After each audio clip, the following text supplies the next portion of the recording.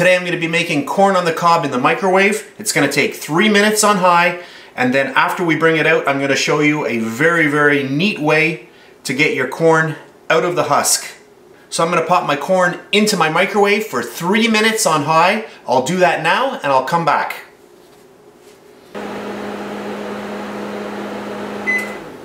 Alright, three minutes on my microwave.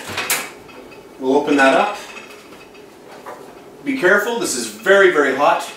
And I'll bring it over to the table.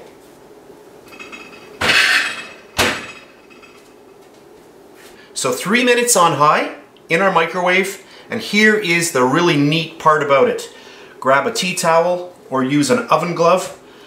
Bring it over, grab a knife, and just cut off the end. Just like that. Get your plate. And here is the really neat part.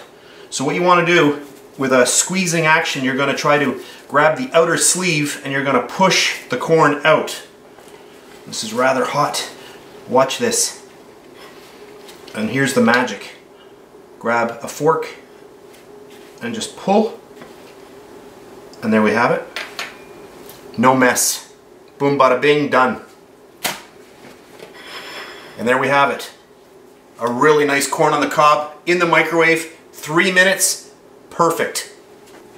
The only thing left to do, I'm to add a little bit of nice butter to this.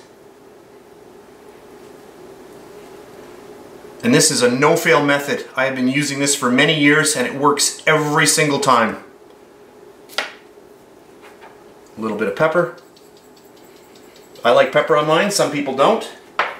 And of course salt. Everybody loves salt on their corn on the cob.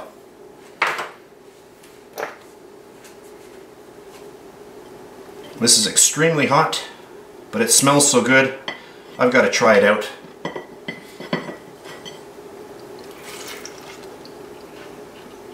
Mmm. Perfectly, perfectly done. Really, really good.